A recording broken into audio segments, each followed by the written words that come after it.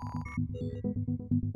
A lot of hints from the Mr. B, the Mr. Beast camp over there, guys, as he continues to stem into gaming and potentially esports in the future. I will keep on talking about the guy. And in case you have missed the coverage we have had here on this channel around a guy like Mr. Beast, obviously doing incredible things, and his gaming channel still exploding with growth. I think the last time we talked about that, breaking 10 million subs. Of course, he also has talked about his future potential investment into a League of Legends roster if he wants to drop dozens of millions of dollars into the esport. I think a lot of people would be very happy to to have him, Fnatic and G2 making him offers, of which he says no, I want to do my own thing. Alongside that, hosting a $100,000 1v1 Minecraft duel, maybe more 1v1s in the future. The guy is certainly stemming into the scene of what we love to do, and I cannot wait to see his future movements, of which might be with that esports organization of which we think will be called Beast Gaming. It was a recent video, now actually quite a long ways back, but thanks to the viewer sending me this, where he kind of just hints at, you know, I'm not, not point of me recording,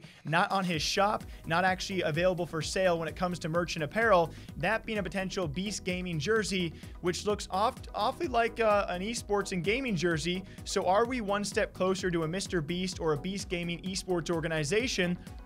I think maybe, or, or I'm just looking way too far into this, but either way, super excited to see what his future might be. If you guys want to check out his video, I think this will be the next step of Beast Gaming to announce his own team and organization. And certainly, hey, if you really want to talk about it even further, his Minecraft audience alone of what he has done lately, I mean, the guy is making so many moves at once.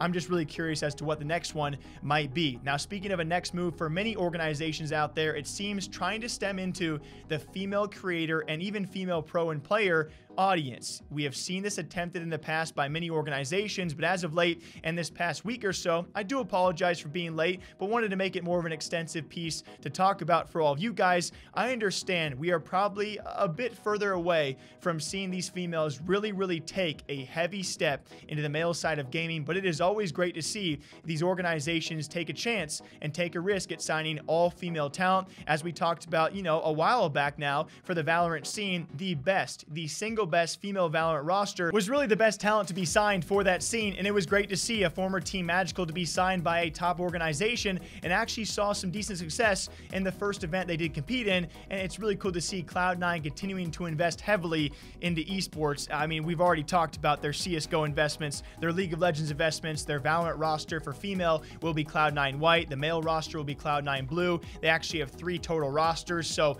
they continue to be insane. And most recently, XSET Gaming. If you guys do not remember the former uh, ownership group or a lot of those members actually coming from FaZe Clan, their goal to really diversify the gaming space, and they have continued to expand as well. And we have talked about some investors they've also taken over from FaZe Clan as well. They too have now signed what is often talked about as the best female CSGO roster under XSET Gaming. Uh, Juliano, Zazz, Mimi, the girls over there, huge congrats. I did not talk about this sooner, but I wanted to make it a bit more of a, of a piece to talk about as we see organizations like Cloud9 and XSET take a take a big risk and a financial take on these teams for their female signees. Will we see other organizations follow suit? As we have certainly seen a lot of orgs take risks on creators and personalities that are female, but certainly when it comes to pro players, I think we've seen it a lot less. So I love the steps being made here. I, I really do love seeing the investment from Cloud9 and XSET. I can only hope other organizations do follow suit and what esport it'll be in, what roster it might be.